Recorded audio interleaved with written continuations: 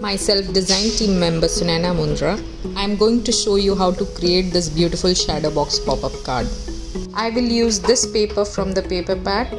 First I will turn the paper and score at 4 inches. Bringing it back to straight, I'll score at half inches and 2.5 inches. Now I'll cut the paper at 4 inches scored line Burnish the scored lines nicely. Now I'll take the leftover piece of paper and score at 11.5 inches and 9.5 inches and cut it at 4 inches on the horizontal side. Again need to burnish the scored lines properly. This will create a box kind of thing. Now we'll create a shadow inside the box. I am making a score line leaving half inches from each side to create a shadow.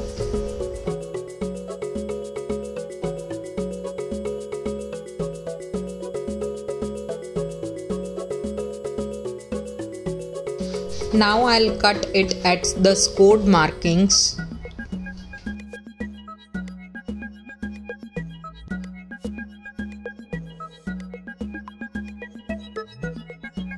I am using my scoreboard.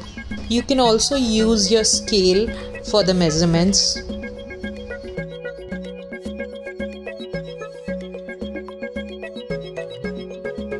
So this is how we can create a shadow box.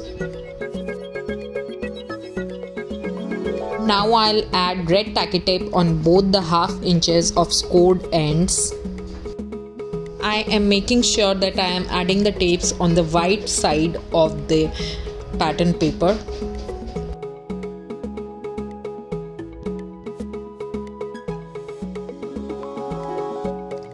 Now we need to join both the ends to create the box.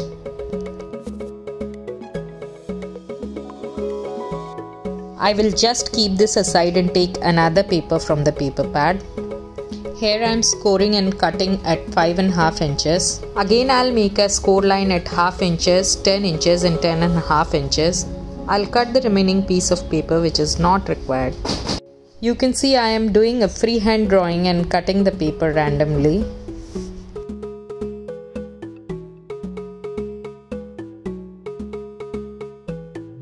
Now I'll again burnish at the score markings. Similarly, I'll create two more waves taking the random measurements.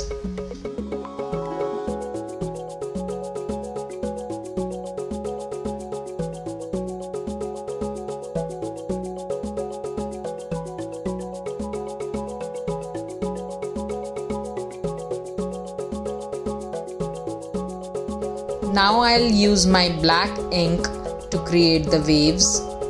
This will create the depth of the snow.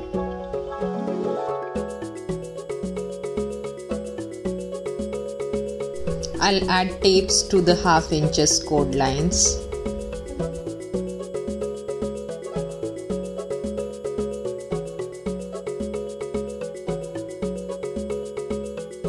Immediately after that, I'll start arranging the waves to the shadow box, leaving some space in between each of the waves.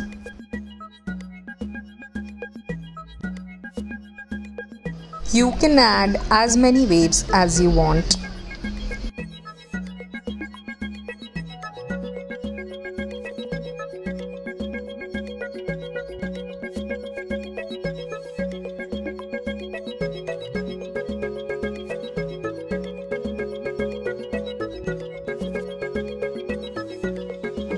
Now I'll start arranging the motif elements from the Christmas element sheet to the waves.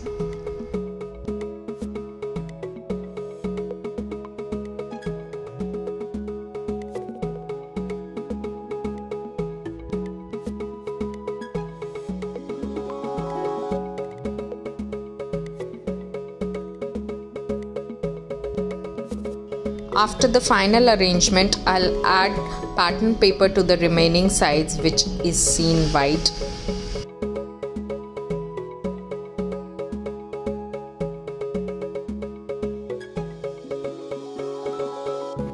Christmas is incomplete without Santa, so I'll add a Santa over here and then a sentiment related to Christmas.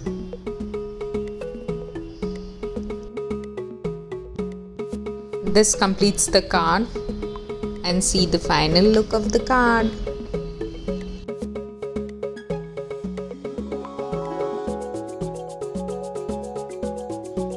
The best part about this card is this becomes a slimline card as well and can be kept into the envelope in case if you want to gift someone or you can just keep it as a showpiece.